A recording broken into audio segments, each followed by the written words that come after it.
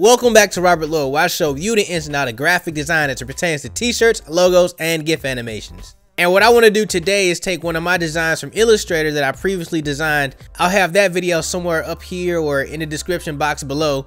But what I want to do is take that design and put it on Spreadshirt and show you guys how you can make your designs and sell your designs off of Spreadshirt. So quite recently, a lot of people has been asking me about my website. How do I get my t-shirts on my website? What do I do? Am I making my own shirts? Which I do make my shirts and I will show you guys how I do that. I have my little press machine back here somewhere, but what I really want to do is show you guys how easy it is to get set up on the internet and what you can do going forward before you start making all these different t-shirts. Now I did talk about this in another video and you guys should definitely check that out. But right now, I want to at least show you guys how to put your t-shirts on a Spreadshirt and get set up correctly. So with that being said, you guys, let's go ahead and make some magic.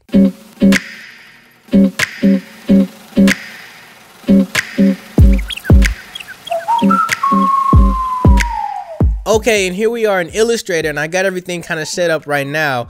Basically, what I want to do is just go ahead and kind of highlight the stuff inside of my artboards, hit Command C, and then bring that over into a new document where I can just go ahead and paste it in and then just turn this into an EPS. So we're just gonna go to file, save as, and then we wanna reformat this to be an EPS, so Illustrator EPS. Once you have that, just go ahead and hit save and that should save your document out the way that you need it to be saved out. Just make sure that everything is set up like this. You can go ahead and hit OK. And that's pretty much it. So it's going to write all of this into a, an Illustrator file. But once that's said and done, we can just go ahead and go through and do this again for other stuff. So I have a little bit more to go. But what I'm going to do is I'm going to do the rest of this off screen. And I'm going to meet you guys at Spreadshirt where I'm putting this on my t-shirts and all that stuff. So I'll see you there. So here we are in Spreadshirt. Now what we want to do is just go ahead and kind of drag and drop those into this actual browser. So I'm going to bring up my finders and I'm just going to go ahead and pick one. So I'm just going to pick this one right here. It's pretty simple, pretty basic. All I need to do is just kind of drag and drop it in. Now I specifically chose one graphic color for a reason, so I'm just gonna pick that and I'm just gonna confirm that this is my design. So it's not gonna be a preview because it's an EPS and all that. It's probably gonna take a little while for us to actually see that EPS but I'm just gonna go ahead and describe my design. So it's an educated bearded man, and I'll put in some tags. So maybe educated, uh, HBCU. We'll type in college, and really all you need to do is type in three tags. So I think that looks pretty good right there. We hit submit design. So while we're waiting on that, what I want to do is go into my Photoshop and kind of fix up a texture that I want to put on top of this. I want to go ahead and put one of my textures into this as well, but I need to kind of fix it up because it's kind of small. It's not really suitable for Spreadshirt. So what I'm gonna do is I'm going to Photoshop real quick and I'm just gonna go to my normal 14 by 17 with a 300 DPI and just hit OK. Now I have my textures already cut out, so what I want to do is just kind of just drop that in there and hit the check mark. And then I want to go to export, save for web. So it's gonna try to load itself up real quick, so that's gonna take a little second. But once it's loaded, we'll start the exporting process. So just kind of looking at the resolution size here, I tried to actually upload this not too long ago and it said that it had to be a printable image between the size of like 40 to 4,000 pics. So this looks okay, but the file size itself needs to come down. So we'll put this at like 4,000 right here. And with this change, I can now upload this into Spreadshirt. Now this is a raster image. I have to worry about different things like is it going to be pixelated and all that extra stuff. So they're saying that 4,000 is what they can accept. We'll go ahead and hit save and see what we get. So here's my texture in Photoshop and I just kind of drop it into Spreadshirt like this. I'm going to confirm that this is my design and I actually can use this. And I'm just going to go ahead and describe it. So I'm just going to call this texture for educated. I'm going to say texture. We'll say dust and we'll say scratches. And then we'll submit this design as well. So now that we got our assets uploaded and all that stuff, now it's time for us to go ahead and put that on a t-shirt. So what we want to do is go ahead and click on the My Products tab and it's going to give us this screen right here. What we want to do is just go ahead and click New Product and that's going to bring up a different screen. So what I like to do is just go ahead and go to the category and just go down to men. I mean, because this is a men's shirt, we'll just do that. And then I'm going to pick the product and I want that to be a t-shirt. Now there's a few shirts here that I've kind of already messed with. Like right now, this is the Fruit of the Loom shirt. I've always messed with the Fruit of the Loom shirt. Here's Bella Canvas's shirts right here. So if you guys like Bella Canvas or anything like that, I actually did a few mock-ups of their shirts. So they have this one right here, which is just the V-neck. And then they have this one right here, which is kind of like a bleached out little shirt. But you can actually go through and find something different. Like they have this one right here, which is next level, which is pretty awesome. They have American Apparel, of course, one of everybody's favorite brands to use. They have this Gildan down here, which is pretty expensive. It's like $16 for them. And then they have just a lot more. So you guys kind of go through and figure out which one that you like to use. I'm gonna go ahead and stick the Fruit of the Loom on this one. And I definitely want this in black, so I'm gonna go ahead and choose my two designs. So here's the first one, which is the texture. As you can see, the texture shows up and it looks pretty good like this.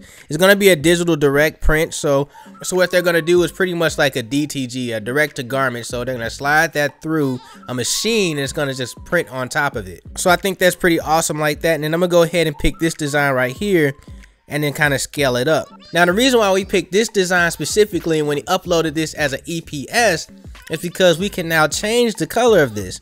So I'm going to pick this white right here which is pretty much what I was already doing and I think this looks good. So we can scale this up and down and all that stuff back around and it looks pretty good where it's at right here. We can also take the image from behind and kind of layer it up on top. If you're not a fan of it, you can just move this down and pick the actual shirt graphic and then move that back up or put it in wherever you want it to go and then bring the shirt graphic right back up here like this. And you can also change the color. So I picked white, but I might pick something like maybe this gold right here. This is the gold that I use a lot for my channel. You can pick and put it in like blue. You can put it in magenta, gray, you know, all these other different colors or whatnot. It really doesn't matter. All right. And you can also pick the different color shirts. So maybe I don't want it in like black. Maybe I want the actual graphic in like black or any of these other colors. And I want the shirt in like white, you know? Or I want the shirt to be like yellow or something. You know, we can just do anything here. The sky is the limit. But what I'm going to do is I'm going to bring this back to black because I kind of want it like black. And I want this shirt graphic to be that orange that I kind of use. So this gold, gray, gold right here, this looks pretty good to me. And I want to click on the back of this to bring up the texture and we'll say that looks pretty good so now if you guys want to change like the product you can definitely change the product to like a hoodie or something like that you can do anything here. Like i said the sky is the limit. Just know whenever you pick something different the actual price is going to change as well. So it's going to go from like $25 to like 50 real quick you know? So just be kind of cautious of that. Just because it looks like it might be a good deal it might not be a good deal. So i like the way this is looking. I'm gonna go ahead and hit create. Now here i can name this. So i'm just gonna go ahead and hit educated and then put in a description you guys, you don't want to miss up on this description. Like you actually want to go ahead and put a description into all your products. This is good for SEO. Now it's not going to matter too much on Spreadshirt. I'm not sure if it matters too much on Spreadshirt, but if you have a t-shirt shop on like your regular website and all that stuff, you don't want to miss out on like the SEO because you're going to miss that and that's going to be a big problem. So I'm going to show you guys a little SEO technique that I kind of do. I'm going to go into Google. I'm gonna type in educated and hit OK. So what I have here is a plugin for Chrome extension. And what it shows you is how much is being searched for, how much that keyword actually costs as much as like advertisers paying you money so it's a, a cost per click. And then what's the competition? So right now there's no competition. Nobody there's no money for this actual word or term anything like that.